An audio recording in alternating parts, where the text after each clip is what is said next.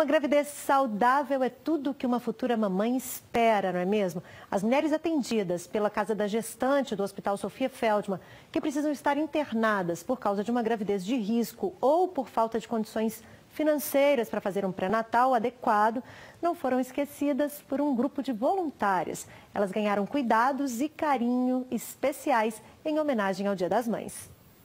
Na lavanderia, em vez de roupas, a lavagem foi de cabelos.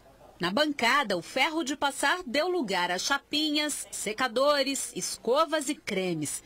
Foi dia das futuras mamães se cuidarem como não faziam há muito tempo. Mais de um mês já. Depois que eu engravidei, desleixei mais. Se não tivesse elas aqui hoje aqui, eu não estava cuidando não, minha filha. A ação voluntária de um instituto de beleza da capital foi para moradoras da casa da gestante da maternidade Sofia Feldman, que atende 100% pelo SUS.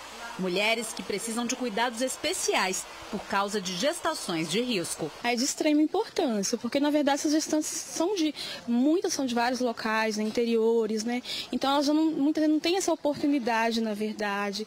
Em algumas situações, como estão internadas, não conseguem fazer uma escova, uma hidratação no cabelo.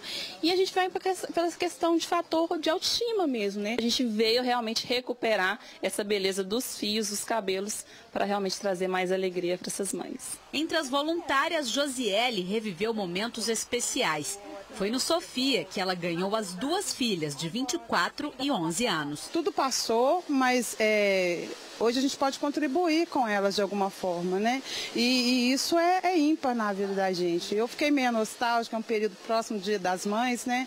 Onde a gente acaba lembrando sempre também do que passou para o filho estar por perto. Eu descobri como que eu nasci e eu voltei num dia bom para ela, fiz ela relembrar tudo que ela passou. Com 30 semanas de gestação aos 43 anos, Valéria saiu de cabelos cortados, hidratados e escovados.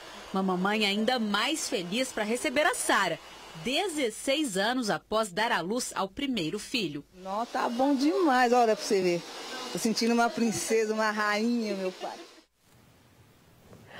O Jornal da Alterosa termina aqui. Te espero amanhã, a partir das 7h15 da noite.